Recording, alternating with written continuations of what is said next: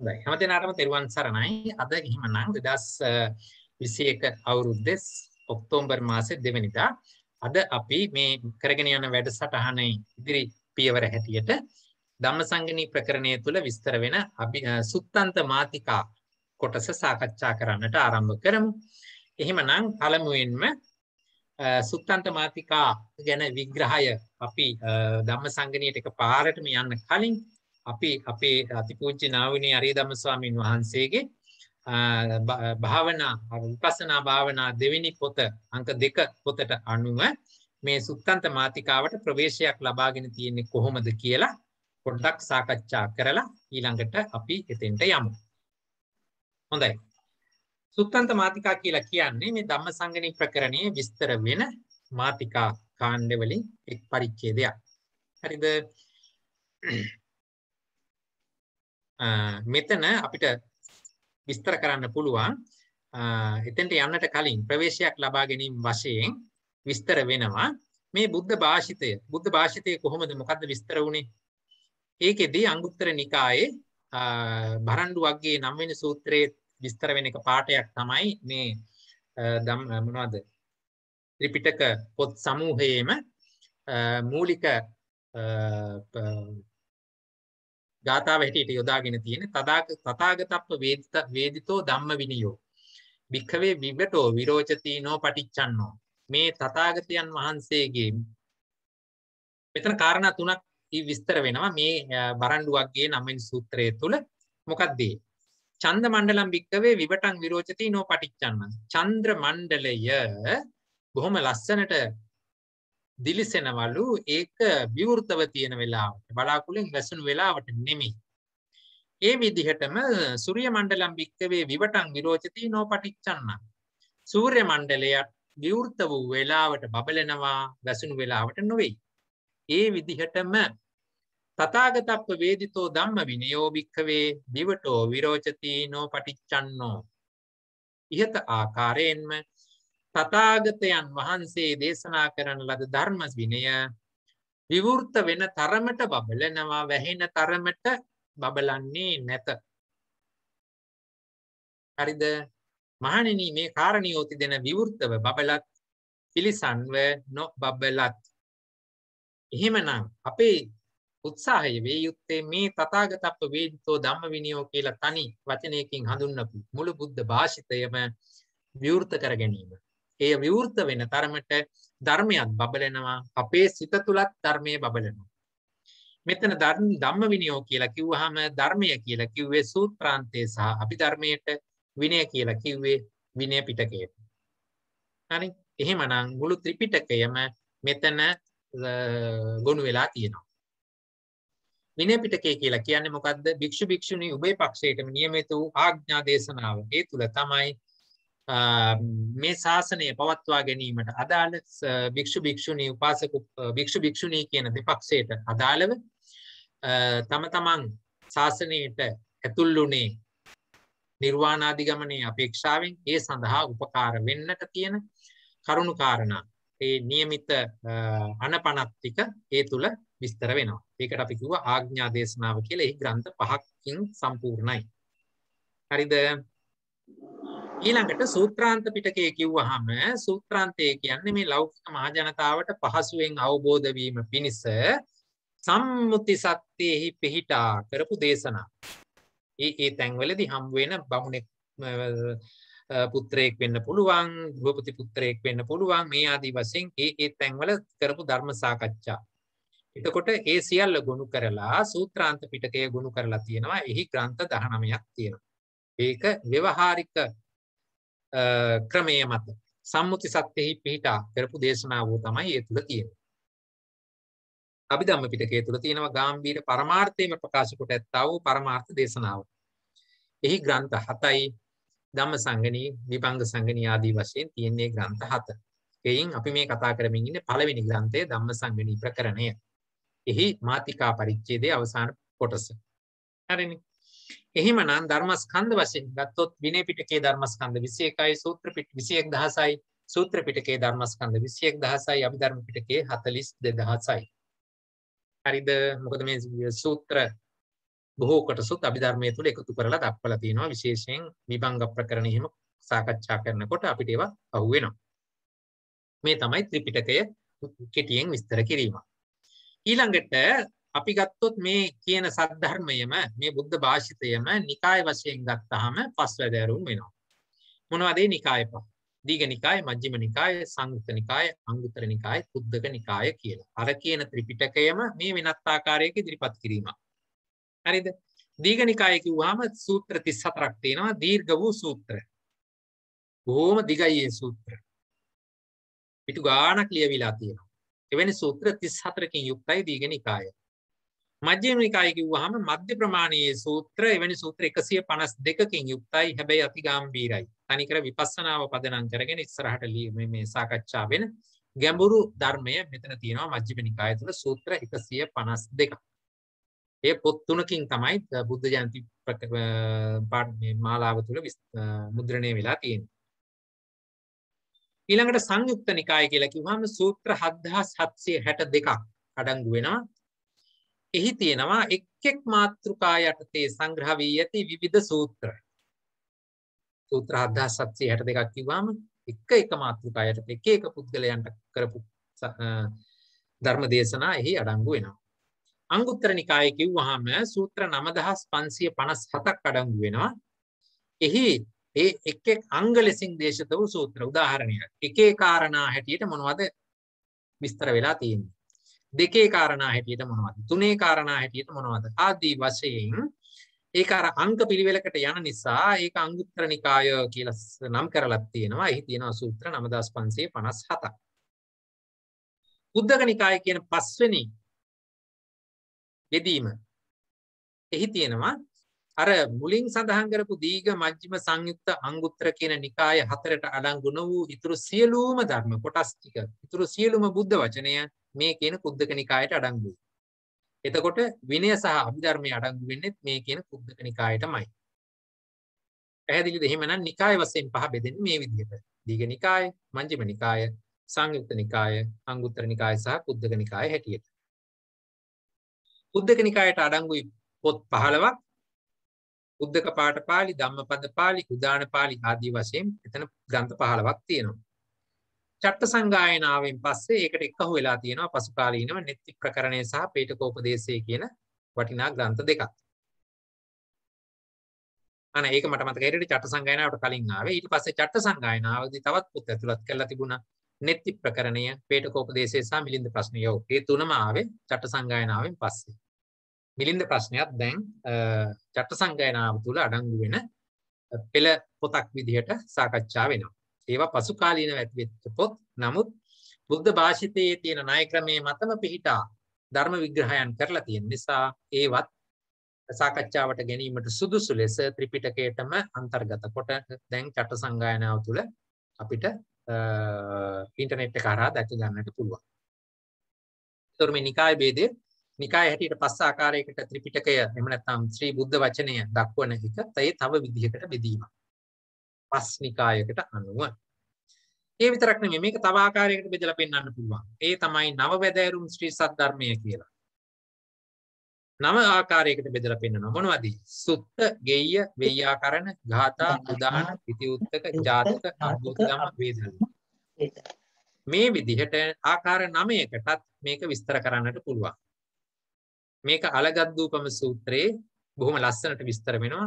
මජ්ක්‍ධිම නිකායේ තියෙන අට කතාව මජ්ක්‍ධිම නිකායේ අට කතාවල අලගද්දූපම සූත්‍ර වර්ණනාව තුළ මේක සඳහන් වෙනවා බොහොම ලස්සනට විස්තර කරලා තියෙනවා. සූත්ත කියන්නේ මොනවද? ගෙය්‍ය කියන්නේ මොනවද? වෙය්‍යාකරණ කිව්වොත් මොනවද? මේ ආදී වශයෙන් මේ නව ආකාරය විස්තර කරලා තියෙනවා. හරිද? මේ තව ආකාරයකට බෙදා දැක්වීම. මේ කොයි ආකාරයකට බෙදුනත් ඒ සියල්ල බෙදලා තියෙන ශ්‍රී සද්ධර්මයේම තමයි. අර අපි කලින් කතා කරපු විවටෝ විරෝචති කියලා සඳහන් කරපු බුද්ධ වචනේම තමයි. බෝධි මූලයේ බුද්ධත්වයේ ලැබූ දා සිට පිරිනුවන් මංචකයේ පිරිනුවන් පාන මොහොත දක්වා දේශනා කළ සියලු සද්ධර්මය ඒ තුල අන්තර්ගත වගේ තමයි අදහස් වෙන්නේ. හොඳයි. එහෙමනම් අපි මේ කියන පදනමේ ඉඳගෙන මේ කියන මූලික දැනුම සමග තමයි අපි සුත්තන්ත මාතිකාවලට ප්‍රවේශයක් ලබා ගන්න. මොකද සුත්තන්ත මාතිකා කියන ඒවා අර දැන් ව්‍යවහාරික ස්වභාවයෙන් සූත්‍ර පිටකයේ දේශනා වෙලා තියෙන්නේ. එතකොට අන්න ඒ සූත්‍රාන්තය කෙරෙහි මේ අභිධර්ම භාණකයන්ව යොමු කිරීම මූලික කරගෙන මේ සුත්තන්ත මාතිකා නිර්මාණය වුණා කියලා අදහසක් තියෙනවා. ඒ අනුව මේ සුත්තන්ත මාතිකා කියන ඒවා දේශනා වෙලායි කියලා කියන්නේ සාරිපුත්ත මහරහතන් වහන්සේ විසින් ධම්මසේනාධිපති සාරිපුත්ත මහරහතන් වහන්සේ විසින් සංග්‍රහිතයි කියලා තමයි සඳහන් වෙන්නේ. මොකද බුදුරජාණන් වහන්සේ අභිධර්ම දේශනාව සරියුත් හාමුදුරුවන්ට දේශනා කළා. උන්වහන්සේ විසින් එය නාති විස්තර මොනවද නාති සංක්ෂේප ආකාරයෙන් තමන්ගේ ගෝල පිරිසකට විස්තර කළා. ඒ අනුව අභිධර්මයේ පවත්වාගෙන යාම ධර්මසේනාධිපති සාරිපුත්‍ර මහරහතන් වහන්සේ ප්‍රමුඛ ශිෂ්‍යානුශිෂ්‍ය පරම්පරාවට පැවරුණු වගක් සඳහන් වෙනවා. මෙසේ ඔවුන් තනිකරම ව්‍යවහාරයෙන් ඈත් වෙලා අභිධර්ම මූලික ධර්ම පටිපටි පටිපාටියෙන් ධර්මයේ ඉගෙන ගැනීමට යාමේදී ඔවුන් යම්කිසි ආකාරයකට සූත්‍රාන්ත විග්‍රහයන් කෙරෙහි යොමු කරවීමේ අදහසින් ආභිධම්මික භික්ෂූන්ට සූත්‍රාන්ත කරුණු සමීප කරවීමේ අදහසින් සැරියුත් හාමුදුරුව විසින් මේ සුත්තන්ත මාතිකා දේශනා කළයි කියලා විස්තර කරනවා. එතකොට ඒ සඳහා පාදක කරගෙන තියෙනවා අංගුත්තර නිකායේ ඒකක නිපාතය සහ දුක නිපාතයක් දීඝ නිකායෙහි එන සංගීත සූත්‍රය සහ දසුත්තර සූත්‍රය කියන සූත්‍ර දෙකක්. ඒ කියන්නේ එකේ ධර්ම කාණ්ඩවල අඩංගු වෙන ඒ ඒ දහම් කොටස් එකට අරගෙන ඒවා මේ සුත්තන්ත මාතිකා ලෙස අර ආභිධම්මික භික්ෂූන්ගේ දැනුම වැඩි කිරීම සඳහා ඉදිරිපත් කළ විදිහක් තමයි විස්තර වෙන්නේ. මේ කියන ධර්මකාණ්ඩය සාකච්ඡා වෙන්නේ ධම්මසංගණියේ නික්කේප කාණ්ඩය තුල පමණයි. චිත්තෝත්පාද කාණ්ඩය තුලට ආවේ නැහැ. රූප කාණ්ඩය තුලට ආවේ නැහැ. අට කතා කාණ්ඩය තුල අපි දෙයාර්ථ හිඳීමක් කළෙත් නැහැ. එහෙමනම් නික්කේප කාණ්ඩය තුල පමණක් මේව සාකච්ඡා වෙනවා. අභිධර්ම ප්‍රකරණයේ ඉතුරු ප්‍රකරණ 6 තුලත් මේ කියන සුත්තන්ත මාතිකාවෝ සාකච්ඡාවට අරගෙන නැහැ. ඒ අනුව අපිට හිතන්න පුළුවන් ආභිධම්මික භික්ෂූන්ට සූත්‍රාන්ත කරුණු සමීප කරවීමේ අදහසින්ම තමයි මේක දේශනා වෙලා තියෙන්නේ කියලා. පැහැදිලි දේ ටික. එහෙමනම් මේ කියන ප්‍රස්තුතය මත ඉඳගෙන අපි සුත්තන්ත මාතිකා දිහා බැලුවොත් එහි එක පරිච්ඡේදයයි තියෙන්නේ. හරිද දැන් අපි දන්නවා තික මාතිකා සඳහා පරිච්ඡේද කීයක් තිබුණද? තික මාතිකා පරිච්ඡේද කීයද? එකයි. එකයි. දුක මාතිකා පරිච්ඡේද කීයද? 12. ඈ? 12. 13යි. දුක මාතිකා 13යි. අපි අද කලේ 13 වෙනි පිටි දුකේ අවසාන කොටස. එතන පරිච්ඡේද 13යි. හරිද? ඊළඟට මෙතන තියෙනවා සුත්තන්ත මාතිකා මෙහි පරිච්ඡේද 1යි. හරිද? එතකොට සුත්තන්ත මාතිකා පරිච්ඡේද 1යි. ඒක දුකයෝ ලෙසින් තමයි දේශනා වෙලා තියෙන්නේ. ඒ කියන්නේ යුගල පද හැටියට. දෙක දෙක හැටියට තමයි දේශනා වෙලා තියෙන්නේ. එහි දුකයෝ 42ක් තියෙනවා. ඒ කියන්නේ යුගල පද 42ක් තියෙනවා. එහෙනම් පද හැටියට ගත්තොත් 84ක් තියෙනවා. මෙතෙක් කිව්ව ටික පැහැදිලිද?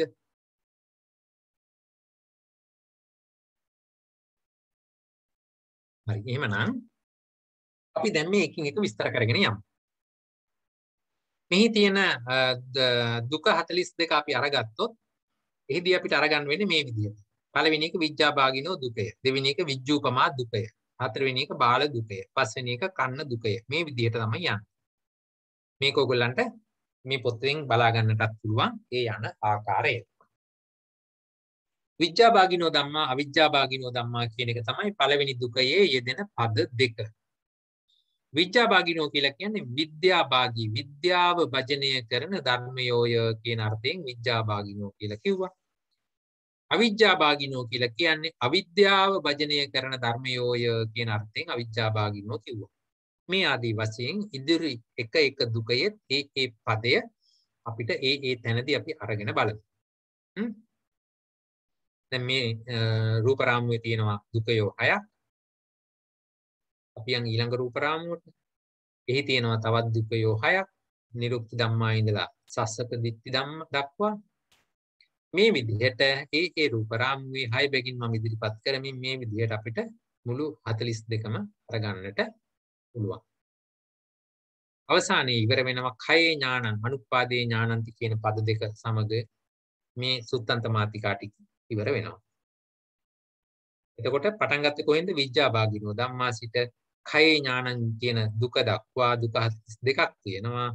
පද හැටියට ගත්තොත් පද 84යි.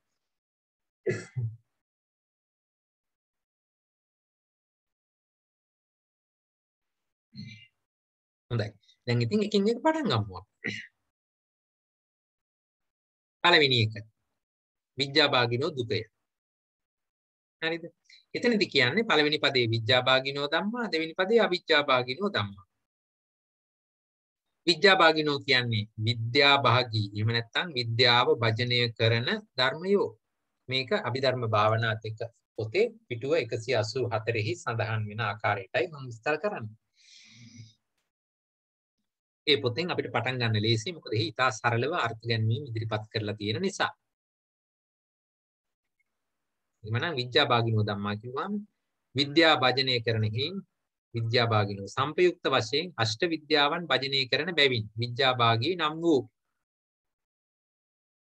නැවත බලන්න සංප්‍රයුක්ත වශයෙන් අෂ්ට විද්‍යාවන් භජනය කරන බැවින් විද්‍යාභාගිනෝ නම් වූ ධර්ම නිස්සතු නිජීව පරමාර්ථ ස්වභාව ධර්මියෝ ඇත. හරිද දැන් මෙතන අෂ්ට විද්‍යාවක් ගැන කතා කරනවා.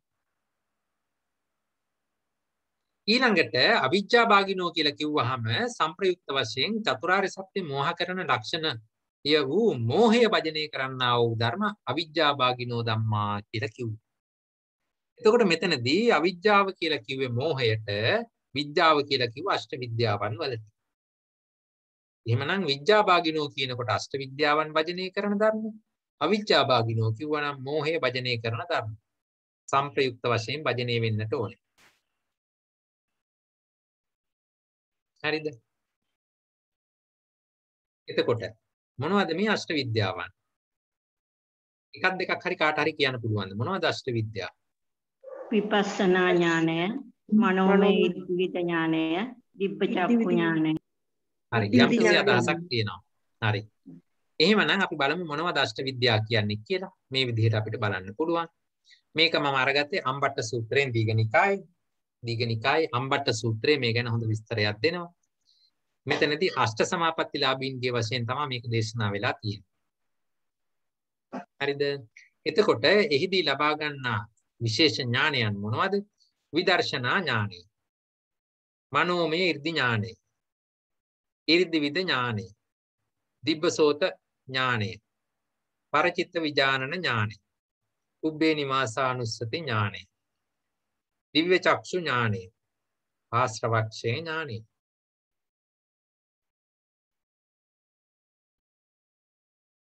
මේ විදිහට අම්බට්ට සූත්‍රය මේ අෂ්ට විද්‍යාවන් විස්තර කරලා තියෙනවා. මෙයින් අවසානයට දක්වන పూర్වේ නිවාසානුස්සති දිව්‍ය ශක් දිව්‍ය චක්කු සහ ආශ්‍රවක්ෂය කියන ඥාන තුන තථාගතතර බල 10ක් තියෙනවනේ මේ බල 10ටත් අයත් වෙනවනේ ත්‍රිවිද්‍යා කියලා අපි හඳින්නේ. එතනටත් ඒක අයත් වෙනවා. මොනවද? පුබ්බේ නිවාසානුස්සති දිව්‍ය චක්කු සහ ආශ්‍රවක්ෂය. බෝධි මූලයේදී ප්‍රථම යානයේදී මොකද ප්‍රථම යාමයේදී මොකද ලබා ගත්තේ? පුබ්බේ නිවාසානුස්සති ඥානය. මධ්‍යම යානී යාමේහි දිබ්බචක්කු ඥානෙ. දිබ්බචක්කු ඥානය.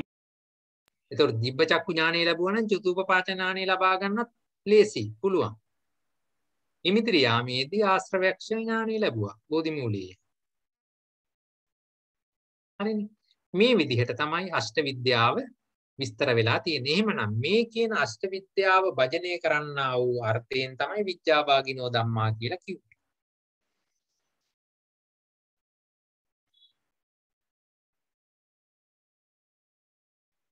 දැන් මේ විද්‍යා කියනවත් එක්කම ඒකම වෙනවා විද්‍යා චරණ සම්පන්න. මොකද්ද මේ විද්‍යා චරණ? අෂ්ට විද්‍යයි අසෘක්ෂණ ධර්මයි. චරණ ධර්මයි. අෂ්ට ඔව් චරණ කියන්නේ අෂ්ට විද්‍යාවයි ත්‍රිවිද්‍යාවයි පශලස් චරණ ධර්ම. හරි මොනවද පසළොස් චරණ ධර්ම මතකද? මතකයි. යන්නකෝ බලන්න. ප්‍රාතිමෝක්ෂ සංවර සීල පොඩ්ඩක් කියන්න සර්. ප්‍රාතිමෝක්ෂ සංවර සීලය, ඉන්ද්‍රිය සංවර සීලය, ආහාර දැන වැළඳීම, නිදි වැළකීම, සමන දැන වැළඳීම, ජාගරියානුවෝගය, ශ්‍රද්ධාව. සති පවට ඇති බිය පවට ඇති ලැජ්ජාව බෞද්ධතාවය වීර්ය සිහිය ප්‍රඥාව ප්‍රථම අධ්‍යයනයේ ဒုတိ ය අධ්‍යයනයේ තෘතිය අධ්‍යයනයේ චතුර්ථ අධ්‍යයනයේ කොහොම හොඳයි. එහෙමනම් ඒවා මොකටද අපිට උපකාර වෙන්නේ?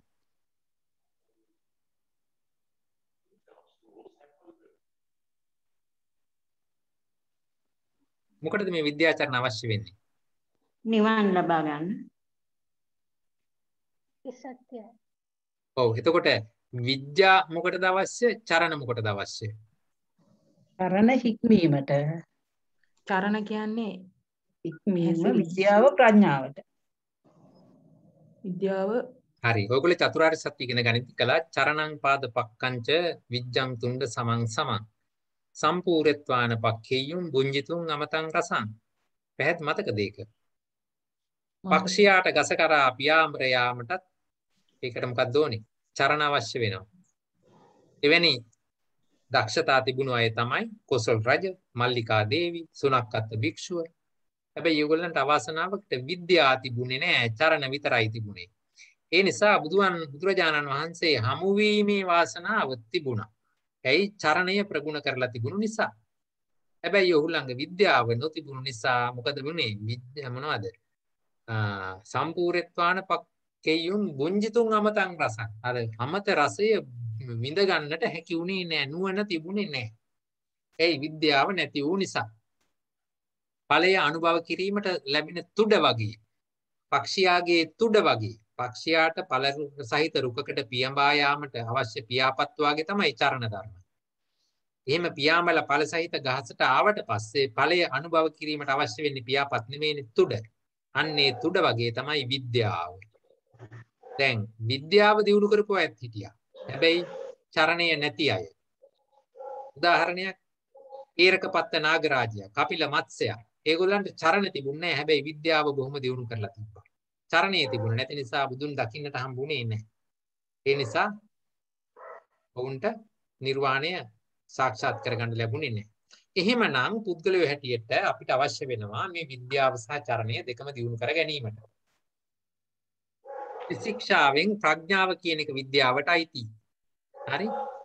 එතකොට සීල සමාධි දෙක අයිති වෙන්නේ චරණයට. එහෙමනම් චරණය කියලා කියන්නේ ආර්ය විද්‍යාව ලැබීමට සහ නිවන් ලැබීමට උපකාර වෙන ಗುಣධර්ම සමූහය. හරිනේ. විද්‍යාව කියලා අපි අටක් හැඳින්වුවා වෙනම විශේෂ ඥාන ඇති කර ගැනීම. ඒට උපකාර වෙන ධර්ම තමයි චරණ ධර්ම. එවැනි චරණ ධර්ම 15ක් තියෙනවා. මේ විදිහට ප්‍රාතිමෝක්ෂ සංවර සීලය, ඉන්ද්‍රිය සංවර සීලය, බෝධිනීහි මාත්‍රාංජා මාත්‍රාඥතාවය, ජාගරියාන් යෝගය, ශ්‍රද්ධාව, හිරිය, ඔත්තප්පේ, බෞද්ධ භාවය, විරිය, ෘතිය, ප්‍රඥාව ඊළඟට ධාන හතර. පළවෙනි ධානය, දෙවෙනි ධානය, තුන්වෙනි ධානය, චතුර්ථ ධානය. චතුක්කණයි ක්‍රමයෙන් ඉදිරිපත් කළේ. ඒ සියල්ලම 15ක් හැටියට ගණන් ගන්නවා. ඒ තමයි චරණ ධර්ම කියලා අපි නම් කරන්නේ. එහෙනම් මේ ටික අපිට තියෙන්නටම ඕනේ. මේ චරණ ධර්ම කියන එක විස්තර වෙනවා මජ්ක්‍ධිම නිකායේ සීක සූත්‍රය තුල. හරිද? මේ විදිහට මේ විද්‍යාභාගිනෝ ධම්මා කතා කරද්දී අපිට තව පොඩ්ඩක් ඈතට ගිහිල්ලා මොනවද අෂ්ට විද්‍යාවන් උනේ මොනවද ඒ සඳහා අවශ්‍ය වෙන චරණ ධර්ම උනේ කියලා අපි ඔන්න දැන් කතා කළා. හරිද? එහෙමනම් ඊළඟට මේ කියන අෂ්ට විද්‍යාවන් දැන් විද්‍යාව භජනය කරන ධර්මනේ. මේ කියන අෂ්ට විද්‍යාවන් අපිට ලැබෙන්නේ මොන මොන සිත් වලින්ද? හරි හිතමු බලන්න. ඔන්න දැන් අෂ්ට විද්‍යාවන් තියෙනවා. හරිද? විදර්ශනා ඥානය, මනෝමය ඉර්ධි ඥානය, ඉර්ධි විද ඥානය, දිව්‍යශෝත ඥානය, පරචිත්ත විඥාන ඥාන මේ ආදී වශයෙන් අටක් තියෙනවා. දැන් මේවා ඇති වෙන්නේ මොන මොන සිත්වලද? උදාහරණයක් විදර්ශනා ඥානය. අපි ගමුකෝ සරලව. අපි පටන් ගත්තේ අකුසල සිත් ඉගෙන ගන්න. අකුසල සිත් 12 තුල විදර්ශනා ඥානය ඇති කරගන්න පුළුවන්ද? එහෙනේ. බෑ. බෑ. බෑ. ඊළඟට අපි සාකච්ඡා කළා අහේතුක සිත් 18ක්. ඒක බෑ. විපාක අහේතුක සිත්. සිත් 18 තුලත් මේ කියන විදර්ශනා ඥාන ලබන්නට බෑ. බෑ. එහෙනම් දැන් මොනවද පුළුවන්? මහා කුසල සිත් සිත්.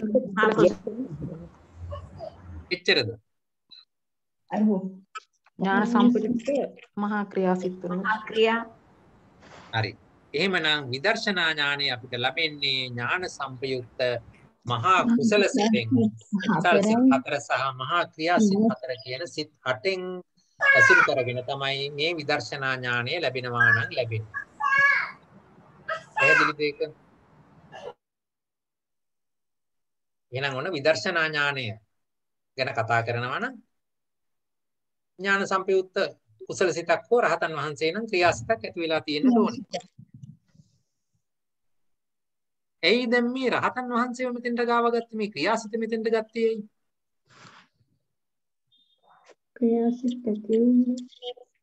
රහත් බව ලබන රහතන් වහන්සේ රහත් වෙලා ඉවරනේ. මොකටද මේ ආපහු මේ විදර්ශනා ඥාන ගැන කතා කරන්නේ? ආගිනෝ වෙන. හා? නිරෝධ සමාපත්තියට රහතන් වහන්සේට ඊට පස්සේ තියෙන ක්‍රියාසිටනේ. ඉතින් ඒක තමයි එහෙනම් මොකද යාරේ මොකටද ආපහු විදර්ශනා ඥානයක් ඇති කරගන්නේ? ඥාන පස්සනා භාවන පස්සනා නෑ. රහතන් වහන්සේ ditta ධම්ම සුඛ විහරණය සඳහා විදර්ශනා ඥාන උපදවනවා. උදාහරණයක් සීල සූත්‍රය කියවලා බලන්න. හරිද? එතකොට එහෙමනම් කිසියම් වෙලාවකදී විදර්ශනා ඥානයක් ඇති වෙනවා නම් ඒ ඥාන සංපයුක්ත මහා කුසල සිත් වලින් රහතන් වහන්සේ නම් ඒ ක්‍රියාසිට වෙනවා අපි අපි අපි ගැන කතා කරනවා නම් ඥාන සංපයුක්ත මහා කුසල සිතකදී විතරයි විදර්ශනාවක් සිදුවිය හැක්කේ. ඊළඟට අනිත් ටික මනෝමය ඉර්ධි ඥාන ඉර්ධි විඥාන දිබ්බසෝත මේවා ටික කොහෙදද ඇති වෙන්නේ? පංචම ධානය අභිඥා චිත්ත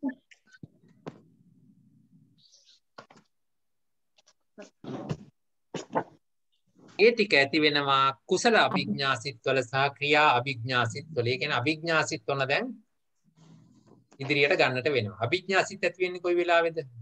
රූපාවචර පංචම ධානය ලැබලා එය අභිඥා මට්ටමට දියුණු කළොත් තමයි අභිඥා සිත් ලබා ගන්නට පුළුවන් වෙන්නේ.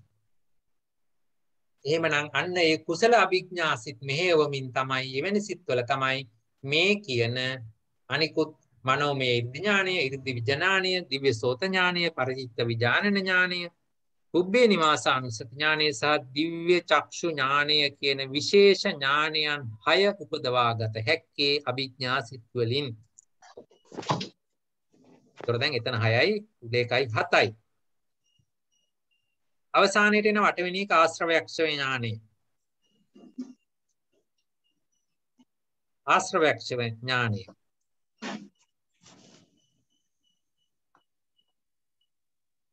එතනදී සෝවාන් සකදාගාමි අනාගාමි කියලා අරගෙන නැහැ. ඒ කොයි හැටි වේවා ආශ්‍රවයක් ඡය වෙන ඥානය තමයි එතෙන්ට අරන් තියෙන්නේ. එහෙමනම් මෙතන සිත් හැටියට අරගත්තොත් ඥාන සංපයුක්ත මහා කුසල මහා ක්‍රියා කිව්වම මෙතන සිත් 8යි. කුසල අභිඥා ක්‍රියා අභිඥා කිව්වම සිත් 2යි. ආශ්‍රවයක්ෂය ඥානයේ හැටියට අපි අරගත්තොත් මාර්ග සිතක්. එහෙමනම් එතනදී 8යි 2යි 10යි 1යි 11යි සිත් 11ක තමයි මේ කියන විද්‍යාභාගිනෝ ධම්මා කියන ස්වභාවය අපිට ගලපන්නට වෙන්නේ. හරිද? එතකොට ආශ්‍රවක්ෂ ඥානෙන්නේ අරියත් මාර්ග සිත. බලන්න එතනත් ආශ්‍රවක්ෂය සියලුම ආශ්‍රවක්ෂය වෙන්නේ අරිහත් මාර්ග සිතෙන්. ඒ නිසා තමයි සෝවාන් සකදාගාමි අනාගාමි අරගත්තේ නැත්තේ. මොකද ඒ වගේ ෂේ වෙන එක ඇත්ත. නමුත් සියල්ල ෂේ වුණේ නැහැ. අරිහත් මාර්ග සිතම ඒට සුදුසුයි කියලා ඒකම තමයි අරගත්තේ. හරිද? පැහැදිලිද ඒක? දැන් ඊළඟට අපිට ප්‍රශ්නයක් ඇති වුණා ඇයි මේ රහතන් වහන්සේලාවත් මේකට ගාව ගත්තේ කියලා. ඒ සඳහා ඔබ සීල සූත්‍රය කියවලා බලන්න සංයුක්ත නිකායේ ධම්මකතික වර්ගයේ තියෙනවා සීල සූත්‍රය කියලා එකක්. එහි පැහැදිලිව සඳහන් වෙනවා රහතන් වහන්සේට මත්ෙහි කළ යුත්තක් නැත. කරන ලද්ද නැවත නැවත කිරීමක්වත් නැත. නමුත් වැලිදු මේ දහම් වඩන ලද්දා වූ බහුල කරන ලද්දා වූ දිට්ටු දැමියෙහි සුව විහරණ පිණිසද සිහිනුවන පිණිසද පවත්නාහ කියලා සීල සූත්‍රය පැහැදිලිව දේශනා කරනවා රහතන් වහන්සේලාටත් මේ කියන විදර්ශනා ඥාන අවශ්‍යයි කියන එක. ඒ ditta ධම්ම සුඛ විහරණය පිණිසත් සිහිනුවන පවත්වා බැලීම පිණිසත් මේවා අවශ්‍යයි. ඒගොල්ලත් මේ දෙයට එනවා වඩනවා කියන එක පැහැදිලිව සීල සූත්‍රය තුල තියෙනවා. ඔයගොල්ලෝ ඒක නිවිහනෙහිල කියවලා බලන්න. ඒක වැඩිපුර කාරණාවක්. හොඳයි අපි කතා කරමින් ආවේ විඥාභාගිනෝ ධම්මා. එහෙමනම් විද්‍යාභාගිනෝ ධම්මා වල ධම්මසංගණී නික්කේප කාණ්ඩය තුලදී ඒක විස්තර කරලා දෙනවා කතමේ ධම්මා විද්‍යාභාගිනෝ ඡේදාංක 1302 කතමේ ධම්මා විද්‍යාභාගිනෝ විද්‍යාය සම්පයුක්තකා ධම්මා ඉමේ ධම්මා විද්‍යාභාගිනෝ විද්‍යාය සම්පයුක්තකා ධම්මා අෂ්ට විද්‍යායෙන් සම්ප්‍රයුක්ත වූ ධර්මයෝය මොහු විද්‍යාභාගී ධර්මයෝයයි කියලා ඡේදංක 1302 විස්තර කරලා දෙනවා.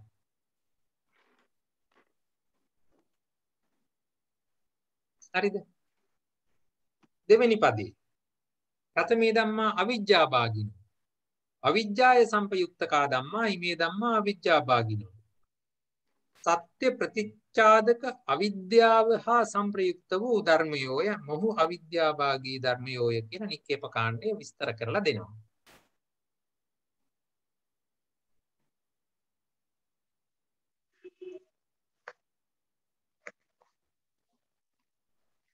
හරිද? මේ ස්වභාවයන් දෙක තේරුම් කරලා අරගන්නට ඕනේ. දැන් අෂ්ට විද්‍යාව තුල ආශ්‍රවයක්ෂය ඥානෙ අඩංගුයි. ආශ්‍රවයක්ෂය ඥානය ඒ කියන්නේ රහතන් වහන්සේ බවට පත්වෙන අවස්ථාව. එහිදී තමයි සියලුම කෙලෙස් ප්‍රහාණය වෙන්නේ. රහතන් වහන්සේට ඒ කියන්නේ රහත් මාර්ගසිත ඇති කරගෙන සියලුම කෙලෙස්යන්ගේ සමුච්ඡේද ප්‍රහාණය සිදු කළාට පස්සේ එකී ප්‍රහාණය වුණු කෙලෙසියෝ නැවත කිසි විටකත් එම సంతානය තුල නූපදනීමය උපදන්නෙම නැහැ. උපදවන්නට උපදෙන්නට අවශ්‍ය මූල ධාතු එහි සීන වෙලා ගිහිල්ලා තියෙන නිසා නැවත කිසි කලෙක එම సంతානය තුල කිසිදු කෙලෙස් දහමක් උපදින්නේ නැහැ.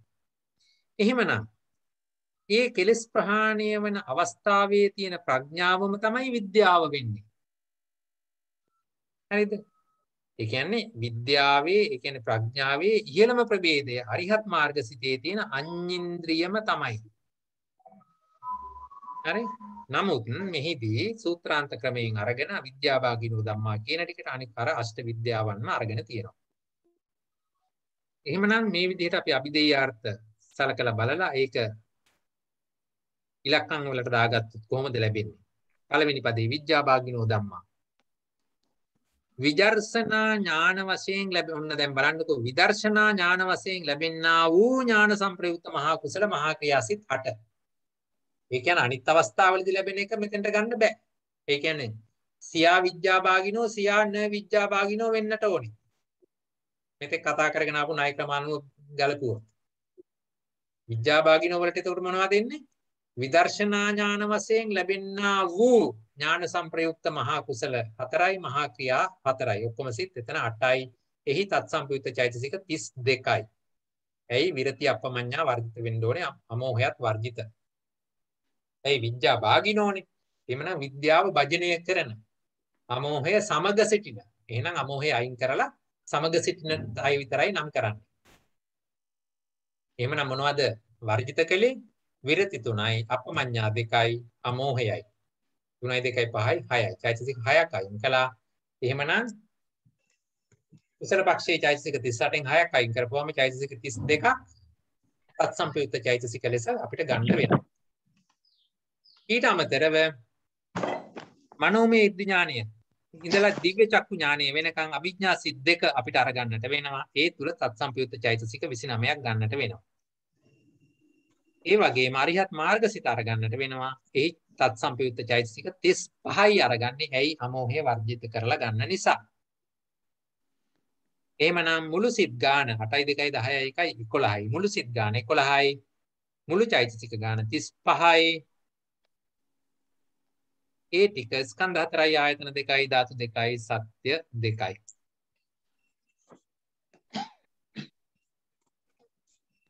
සමාවෙන්න සර්. ඔව්. අපි සරණා ධර්ම කරනකොට මේ කෙලෙස් අයින් කරේ නෑ නේද? දැන් සරණ- අමෝහය අයින් කරනවා. නෑනේ දැන් මෙතන තියෙන්නේ මොකද්ද? විද්‍යා භාගිනෝ ධම්මා. විද්‍යාව භජනය කරන ධර්ම. නිමල් සමග ඉන්න අය. හරිද? අතන කිව්වේ මොනවද? කෙලෙස් ඔය සමග කෙලින්ම හොරු රංචුව කතා කළා. හොරු රංචුව ගැන කතා කළාදී? අහවලා සමග ඉන්න පිරිස කියලා නෙමෙයිනේ කතා කළේ හරිද හොරු රංචුව එතකොට හොරු රංචුවම අපි කතා කරනවා එතන එතන අයින් කරන්න කෙනෙක් නැහැ දැන් අලිබබා සහ හොරු 40 කිව්වනම් අලිබබා වෙනමයි හොරු 40 වෙනමයි හරිද මෙතනදී අපි කතා කරන්නේ විද්‍යා භාගිනෝ ධම්මා විද්‍යාව භජනය කරන ධර්ම. අලිබබා අහුවෙච්ච හොරු කණ්ඩායම. ඒතර අලිබබා වෙනයි හොරු කණ්ඩායම වෙනයි. එතනදී අලිබබා වයින් කරලා හොරු කණ්ඩායම ගැන විතරක් කතා කරනවා. මේ විදිහට මෙතනදී අපි අමෝහය අයින් කරනවා. අමෝහය භජනය කරන ධර්මයි මෙතනදී අහන්නේ. එතකොට එතනදී හැම තැනකදීම නෙමෙයි අර විද්‍යාව කියලා අරගත්තු අවස්ථා ටික තියෙනවනේ. ඒ අවස්ථා වල ඉන්න අමෝහය විසින් භජනය කරන ධර්ම.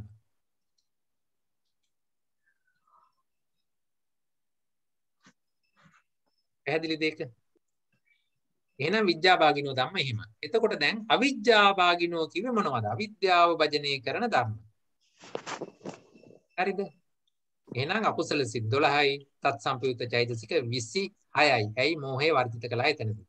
අවිද්‍යාව භජනය කරන දේවල්. එහෙනම් අවිද්‍යාව අයින් කරලා භජනය කරන ටික විතරක් අරන් පෙන්නනවා.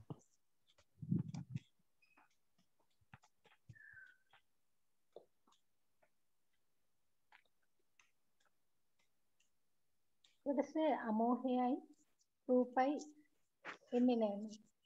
ඒවා අර කියන ඥාන වලට ආවේ නෑනේ. ඒ ඒවා අදාළ කළේ නෑනේ. ඥාන ස්වභාවයේදී ඇති වෙන සිත් ටික විතරනේ අපි අරගත්තේ. එතනදී අපිට රූප ධර්මයක අවශ්‍යතාවය යෙදුන්නේ නැහැ. මේක නුවණ නුවණක් ගැන අපි මේ කතා කරන්නේ විද්‍යාව නුවණක්.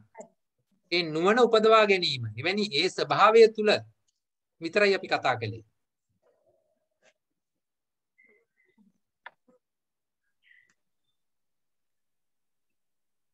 හොඳයි. මේකේ පළවෙනි පදේ සත්‍ය දෙකයි කිව්වා. මොනවද දුක්ඛ සත්‍යයට එන්නේ? පළවෙනි පදේ දුක් සත්‍ය දෙකයි කියලා අපි කිව්වේ. මොනවද දුක්ඛ සත්‍යයට එන්නේ? සිත් 10. සිත් කීයද? 10. මොනවද සිත් 10?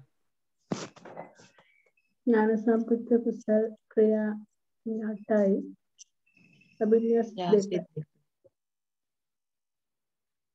කුසල අභිඥා සිත් දෙකයි. ඥාන සම්පයුක්ත මහා කුසල සිත් 8යි. කුසල ක්‍රියා සිත් දෙකම අතර අතර 8යි. හරි. ඥාන සම්පයුක්තේ මහා කුසල මහා ක්‍රියා සිත් 8යි. ආ මනෝ මොනවාද? අභිඥා සිත් දෙකයි. අභිඥා සිත් දෙකයි. හරිද? එතකොට දුක්ඛ සත්‍ය දෙනවා සිත් 10යි. චෛතසික කීයක් විතර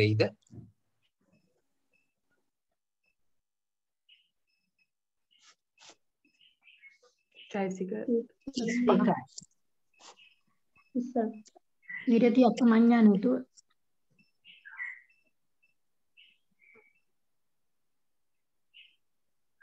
එතකොට විරති අපිමඤ්ඤා තාම මොනවද නැත්තේ? අමෝහය. අමෝහයක් නැහැ. එහෙනම් චෛතසික 32යි එන්න ඕනේ. ඔව්. හරි මේ විදිහටයි එන්න ඕනේ. දුක්ඛ සත්‍ය කිව්වම ලෞකික සිත් 10යි, සත්සම්පුච්චිතයිසික 32යි.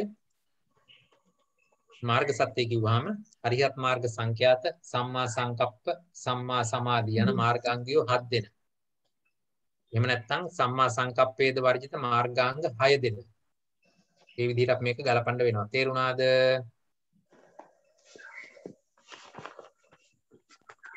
මෙහිදී අතිරික්ත මාර්ග චිත්තෝත්පාද 29 විතරයි ගන්න වෙන්නේ. ඵලසිට කතා කළේ නෑ.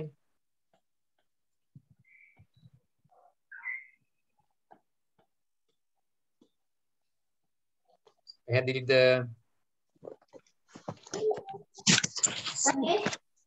එමනම් මේක සප්පදේශ දුකයක්. එකඟයිද?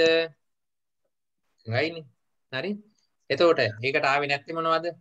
මෙන්න මේ කියන ධර්ම ටික ආවේ නැහැ. අහේතුක සිත් ටික ආවේ නැහැ.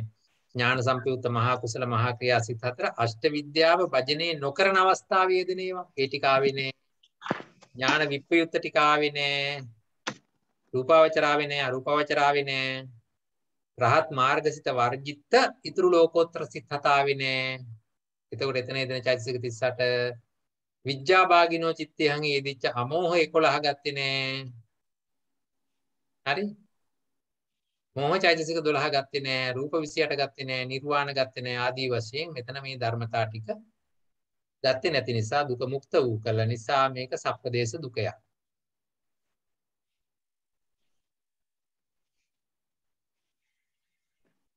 පැහැදිලිද ඒක?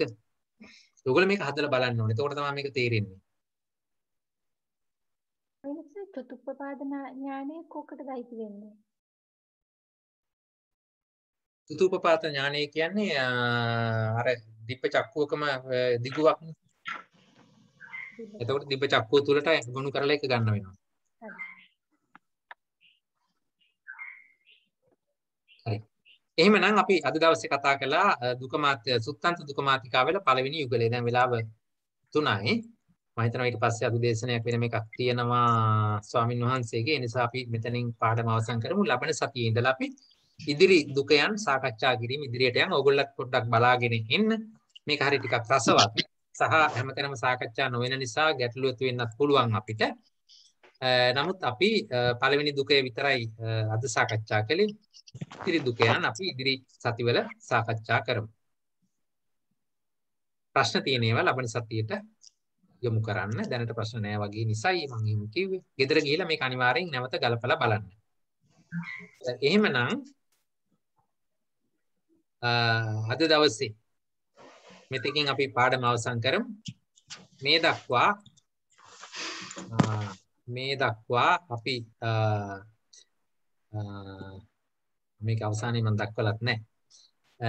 මේ දක්වා අපි මේ පැය දෙකකට අධික කාලයක් අභිධර්ම සාකච්ඡාවක යෙදিলা අභිධම්ම දුක, සුත්තන්ත දුක ආදී සාකච්ඡා කරමින් මේ රැස් කරගත්තු සියලුම කුසල සම්භාර ධර්මයන් මේ ධර්ම සාකච්ඡා පැවැත්වීමට අපිට උපකාර කරන වචනයකින් හරි අනුග්‍රහ දක්වන හැම දිනාටමත් අනුමෝදන් වේවා. මේ ශාසනය රැක ගන්නා වූ සියලු සම්‍යක් දෘෂ්ටික දෙවිවරු ඊට අමතරව මේ ධර්මය අපිට කියලා දෙන්න තරම් රැකගෙන ආපු මහා සංඝරත්නයටත් ප ဋ ාණ ධම්ම සභාවේ සියලුම ස්වාමින් වහන්සේලාටත් මේ තාක්ෂණ සහාය ලබා දෙමින් අපිට උපකාර කරන හැම දිනාටමත් උදුවේ ඔබ අප හැම වෙනුවෙන් මිය ගිය සියලුම ඥාතීන් දෙමාපියන් ගුරුවරු ඇතුළු හැම දෙනාටම. මේ සියලුම කුසල අනුමෝදන් වේවා. දෙවියන් ප්‍රමුඛ සියලු දෙනාම අනුමෝදන් වෙත්වා කියලා ප්‍රාර්ථනා කරමු. අවසාන වශයෙන් සියලුම කුසල් නිර්වාණය සඳහා උපනිශ්‍රේ හේතු වාසනා වේවායි ප්‍රාර්ථනා කරමු. සාදු සාදු. හැම දෙනාටම තෙරුවන් සරණයි. දැන් ධර්ම දේශනාව තියෙන්නේ කොහොමද අහන්නේ ඒක